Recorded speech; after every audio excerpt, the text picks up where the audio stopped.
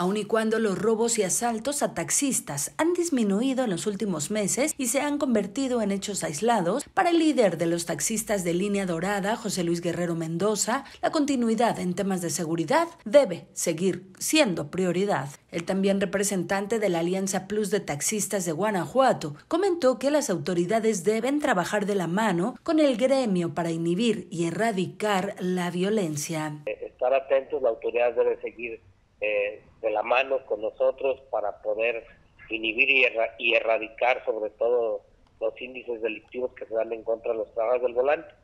Pero esos temas que, como bien lo dices, ataques eh, no han sido directos a los este, taxistas, han sido al pasajero después de abordar y en ese entendido estamos tranquilos nosotros. Guerrero Mendoza dijo que los ataques que se han dado últimamente son directamente contra pasajeros después de abordar. Sin embargo, eso no es motivo para desdeñar que la inseguridad y el riesgo de trabajo persiste entre los trabajadores del volante. El líder de Línea Dorada dijo que constantemente monitorean a los operadores para reducir la posibilidad de incurrir en una conducta delictiva y con ello poner en riesgo a los usuarios de taxis. Para Noti 13, Gaby Bárcenas.